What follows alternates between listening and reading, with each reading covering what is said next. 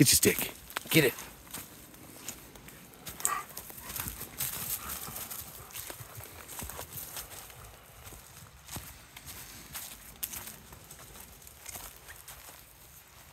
Barely.